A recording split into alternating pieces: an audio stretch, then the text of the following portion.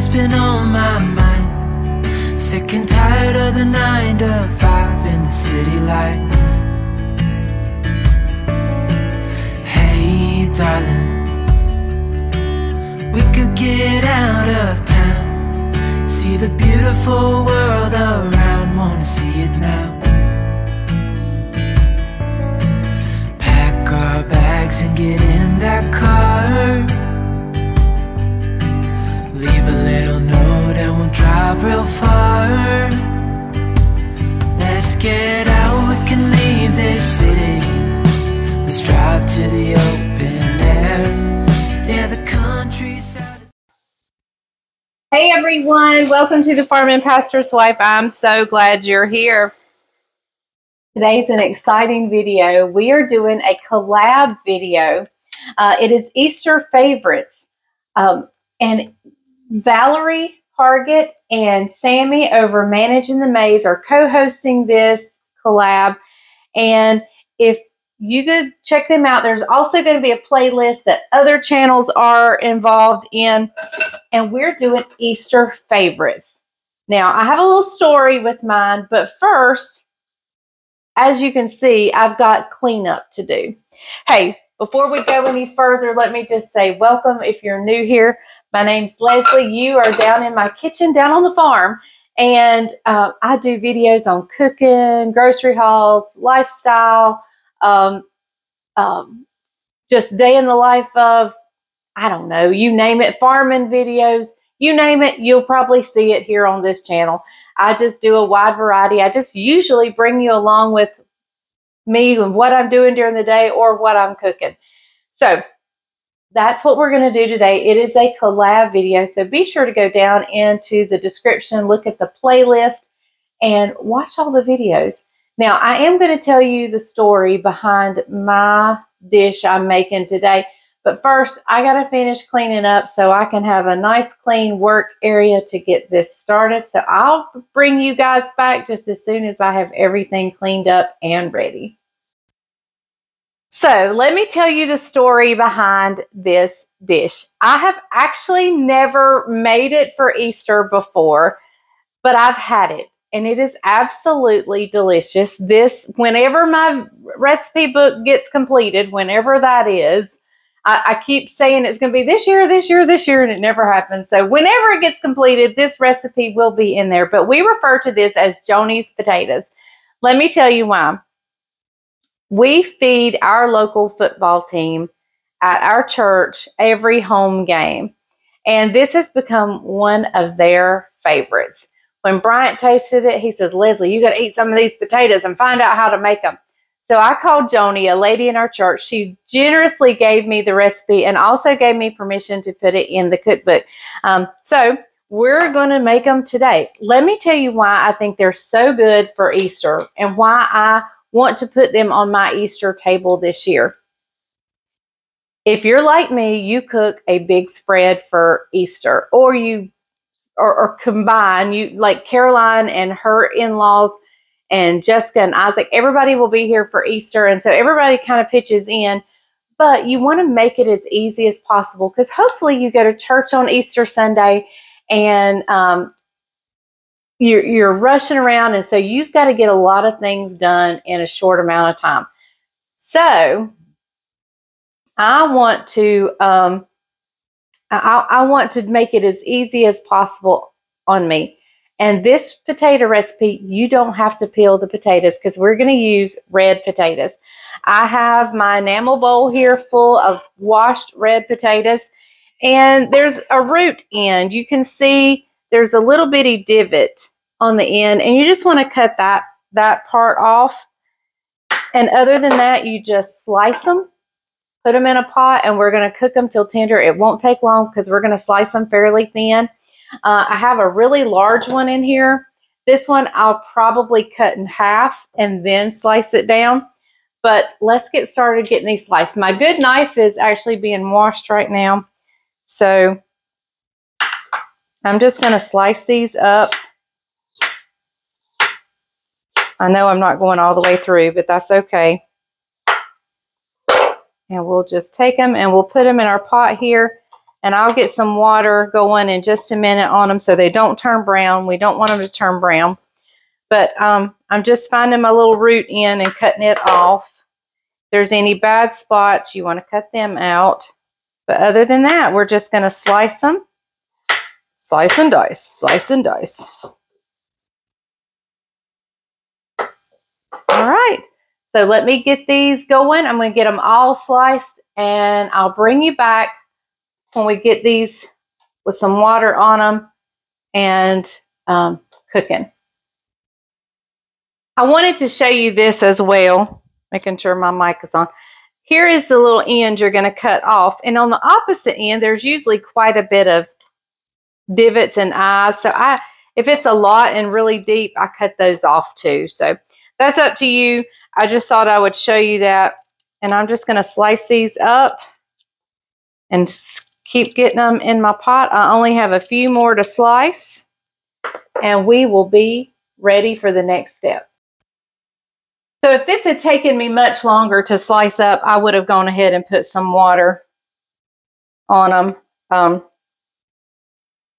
and I'm just giving them a salt. But the reason I would have gone ahead if it had taken me much longer is I don't want them to turn brown. So if, if you're a slow go or have to start and stop, then you might want to go ahead and have your water in the pot.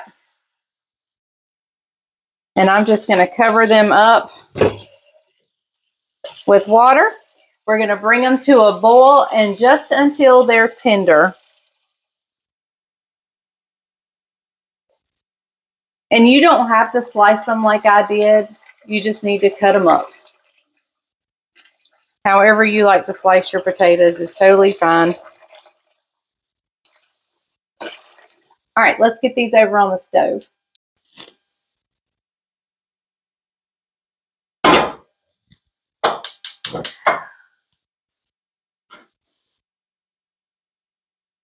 All right, we're just going to bring these to a boil.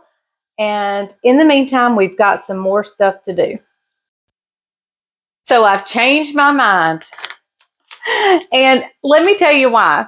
When I'm cooking a big meal like Easter or Thanksgiving, it's all about convenience and making things easy because you have so many different things going on at the same time.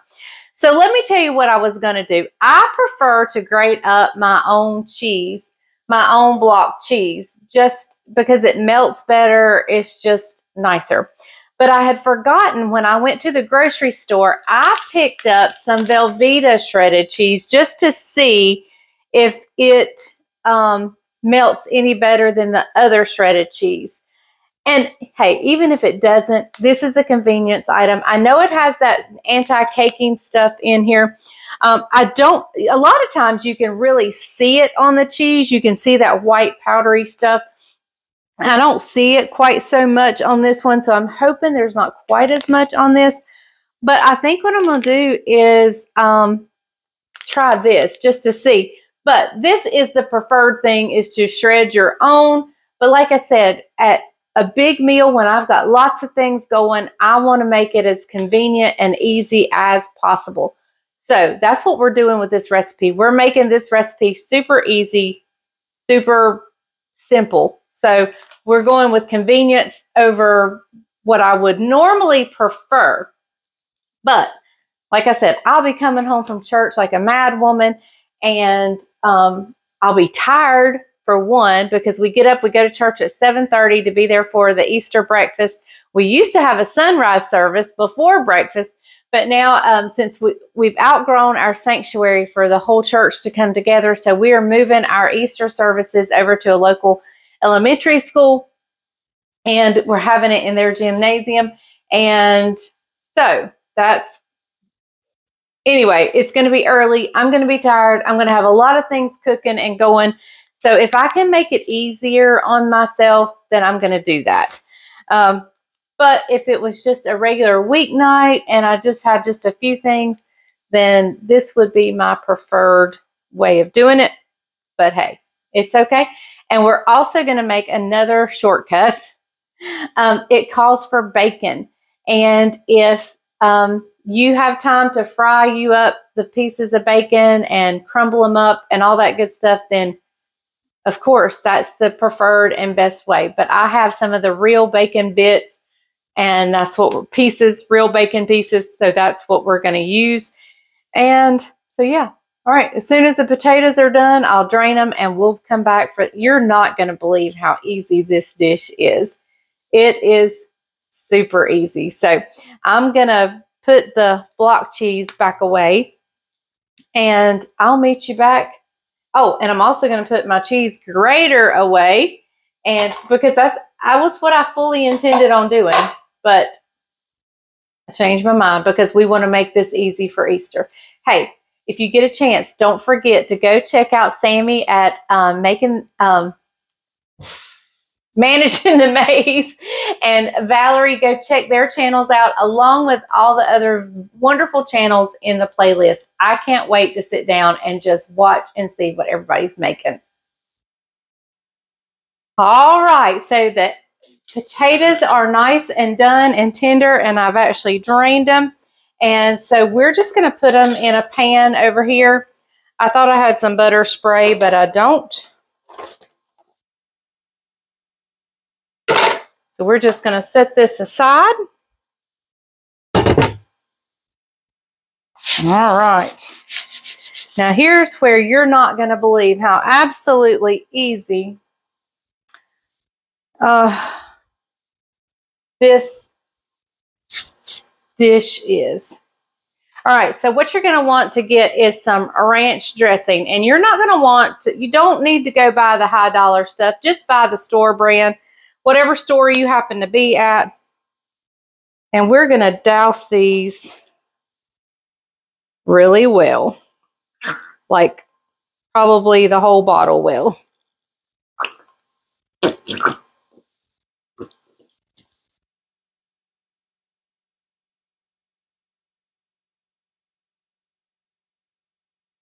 I mean,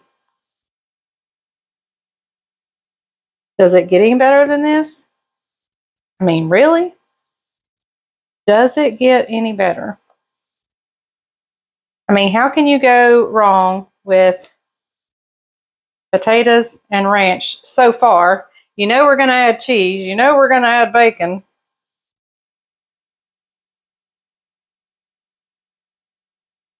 And so you're going to be using quite a bit of ranch. And so you definitely want to go with no, you don't want to spend a lot of money on your ranch.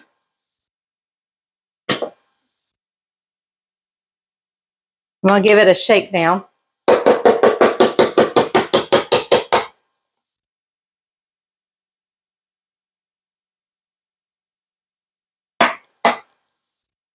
All right, guys. All right, so I want to kind of mix this up just a little bit. I'm going to put some bacon on the bottom, oh, you know, in the potatoes, down in them,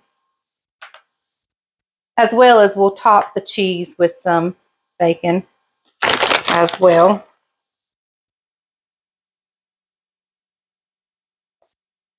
I think Joni may just put the bacon on top. I'm not sure. I can't really remember. All right, so now we're going to top it with cheese. My oven is preheated to 350.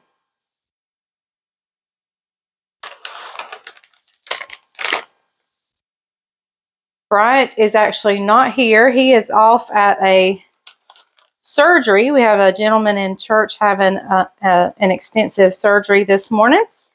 So Bryant is there with him and his wife. And so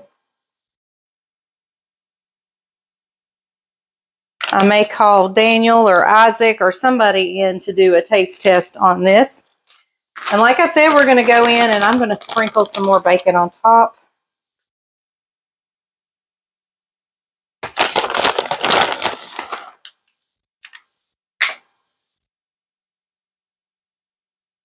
All right. So there we go.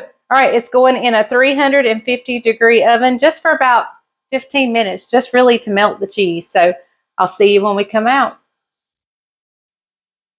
So I have Isaac going to stop by and give this a taste test. And we're gonna. I'm gonna see if I can find Daniel. Um, but here they are. Aren't they beautiful? So I'm gonna scoop Isaac out some in a little dish.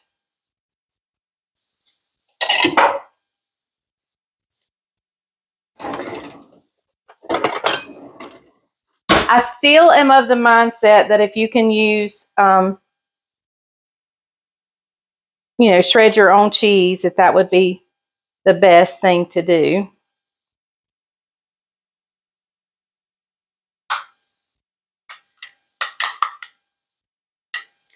So here we have, I've got this in a bowl for Isaac and he should be pulling in. Now he has been working on the farm. He's been cleaning out a barn that um, has some old wood in it. So I'm sure he's going to be nice and dirty. So you'll just have to overlook the hardworking men in my life. They come in and they're pretty dirty because they've worked hard, manual labor. So um, we just kind of overlook the dirt. As long as I'm clean while I'm cooking, that's all that matters. I'm excited for Isaac to come in and give this a taste test, see what he thinks. May need a little salt and pepper because I did not add that on here. I, I salted the potatoes when I boiled them, but that's all. He just pulled up. I saw him pull up. So hang on, he'll be in in just a second. All right, everybody, look who's here everybody's taller than me. I have to slide the camera back because they're so tall. But this is Joni's potatoes. Joni's potatoes. Um, Joni Everhart makes them for the football team a lot. Okay. So tell us what you think. He's been out working hard. He's been cleaning out a barn, getting ready for hay to Mm. store in it. It's delicious. Is that bacon bits or real bacon? It's it's Or real bacon bits. real bacon bits. I guess when you put it back in the oven, it tastes like real bacon. It tastes like fresh bacon. Mm. He took a bite off camera, and his words were, "It's killer. It's killer. It is killer. It's killer." it is killer. All right. Well, there you have it. This is a great Easter side. Hey, don't forget to go check the um, other playlist down below because this is a collab of Easter sides. So I eat Um, it as a meal. You eat that as a meal. as a meal. What- I love potatoes. the so- bacon be your protein? Yeah. All right. Well, if Daniel comes in, we'll get him to taste it. And if Bryant comes in before this video's over, we'll get him to taste it. But all right. So stay tuned. I'll come back and say bye whenever I end this video. All right, everybody. Daniel's come in. And so I said, Are you up for a taste test? And he said, Sure is.